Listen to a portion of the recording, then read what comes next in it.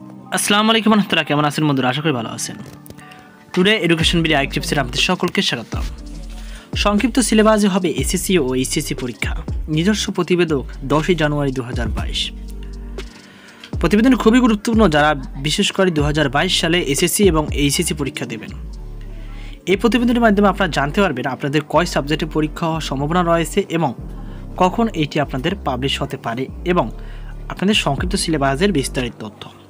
আরেকটি কথা, আপনি যদি আমার চ্যানেল বেঁচে থাকেন, তাহলে অবশ্যই আমার চ্যানেল সাবস্ক্রাইব করে রাখুন।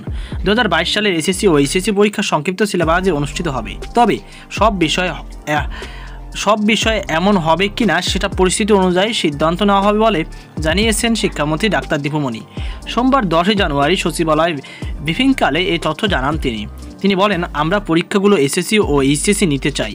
সময় মতো হবে না, এটা খুবই স্বাভাবিক। কারণ, শিক্ষার্থীরা ঠিকমতো ক্লাস করতে পায়নি আমরা একটা আবাস দিয়েছি বছরের মাঝামাঝি। সংক্ষিপ্ত সিলেবাসে পরীক্ষা নেওয়া কিন্তু করোনা পরিস্থিতির তারিখ নির্দিষ্ট করে বলতে পারছি না। যদি পরিস্থিতি স্বাভাবিক থাকে, আশা করছি পরীক্ষার তারিখ দুই তিন মাস আগে বলতে পারব। আর পরিস্থিতি স্বাভাবিক না থাকলে সময় পেছাবে। এই বিষয়ে সিদ্ধান্ত নেবে শিক্ষা বোর্ড, শিক্ষা মন্ত্রণালয়। তাই কেউ গুজবে কান দেবেন না। শিক্ষা প্রতিষ্ঠান খোলা থাকা প্রসঙ্গে ডাক্তার দীপমণি বলেন, আপাতত আমরা শিক্ষা প্রতিষ্ঠান বন্ধ করছি না। আমরা এ মাসেই মধ্যে সব শিক্ষার্থীর টিকার প্রথম ডোজ সম্পন্ন করব। এটি কীভাবে করা যায় সেটি নিয়ে আগামীকাল আবার বৈঠক করব। সার্বিক পরিস্থিতি নিয়ে পরামর্শ কমিটির সঙ্গে আগামী সপ্তাহে আবার বৈঠক করব। স্বাস্থ্যবিধি মেনে সীমিত আকারে শিক্ষার্থীদের সশরীরে ক্লাসে পাঠদান চলছে এবং এটি ধারাবাহিক চলবে। বুটিক্স শিক্ষার্থীদের আন্দোলনের বিষয়ে শিক্ষামন্ত্রী বলেন, বুটিক্স বন্ধের মতো পরিস্থিতি তৈরি হলে বন্ধ করে দেওয়া হবে। শিক্ষার্থীরা এখন অনলাইন ক্লাসের দাবি জানাচ্ছে। কিছুদিন আগে তারাই সশরীরে ক্লাসের দাবি জানিয়েছে। শিক্ষার্থীরা দাবি জানতেই পারে। তবে সেই দাবি যৌক্তিক হতে হবে। আশা করছি শিক্ষক এবং শিক্ষার্থী উভয় পক্ষেই যৌক্তিক আচরণ করবেন।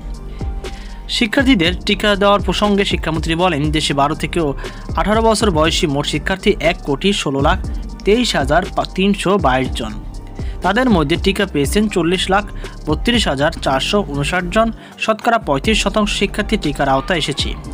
টিকা নেওয়া বাকি আছে পঁচাত্তর লাখ নব্বই হাজার সাতশো তিপ্পান্ন জন। তিনি জানান, জানুয়ারির মধ্যে শিক্ষার্থীদের টিকাদান কার্যক্রম শেষ করার চেষ্টা করব। তিনশো সাতানব্বই উপজেলায় পনেরোই জানুয়ারির মধ্যে, তিন উপজেলায় সতেরোই জানুয়ারি, ছাপ্পান্ন উপজেলায় বিশে জানুয়ারি পনেরো উপজেলায়, বাইশে জানুয়ারি পঁয়ত্রিশ উপজেলায়, পঁচিশে জানুয়ারি এবং এগারোই উপজেলায় একত্রিশ জানুয়ারির মধ্যে টিকা সম্পন্ন করতে হবে। তো বন্ধুরা, এই ছিল আজকে ভিডিওটি। ভিডিওটি কেমন লেগেছে অবশ্যই কমেন্ট জানাতে বলবেন না। সকল ভালো থাকুন, সুস্থ থাকুন। আল্লাহ হাফেজ।